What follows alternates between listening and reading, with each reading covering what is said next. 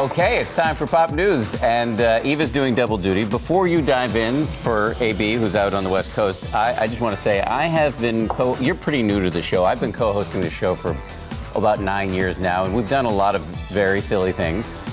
This may be my favorite morning yet. It's just a good take one. a just take a look at this. Um, so if you're still hunting for a Valentine's gift, Hashtag quitting. Who doesn't like a good Valentine's Day candy heart? Be mine, I'm yours. oh yeah, there are all kinds of things that we can say about this. We just can't. The wide shots even better when you see them. Hands high with hands high. Nothing to see here, folks. Oh yes, pop news. What do you have for pop news? Carry on, please. This is one of those gifts I can think of like five girlfriends who are right now thinking that they need to put this on their husbands. Do they have two husbands? No, no, like you know, an Instagram picture. Oh, I this, see. this is like one of those Yeah. kind of moments. Um, anyways, you can. It's cold in some places. You can share a sweater with There's your also sweetie. extra body heat uh, going on that I There's that. actually feel. Uh, Rob runs hot, ladies and gentlemen.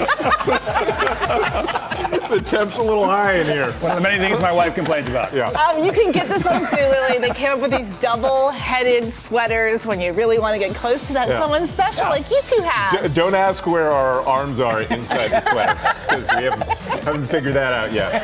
Oh goodness gracious! He's mine. Um, Yours. Yeah, you can have one just Yeah, like now it's getting awkward. people. Seriously, just It's getting awkward.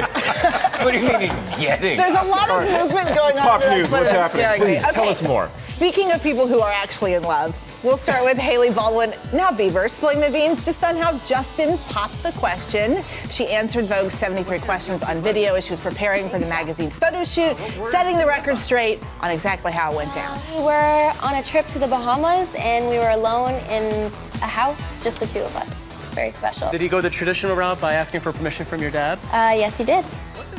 And that's sweet asked her dad, right? That's what you should do. There was talk Bieber popped the question publicly at a restaurant in the Bahamas, but now we know better. They already tied the knot, but are planning a bigger celebration. The new issue of Vogue comes out nationwide February 19th. And it was a star-studded surprise for fans taking one of those Hollywood mansion tours. They got to see a lot more than hedges and gates when Mark Wahlberg suddenly jumped on board their bus. He made their day. He did all the Instagram pictures and posing. Do you want to see these two again? Oh my gosh, Take I a cannot with Take- them. They're like rubbing each other.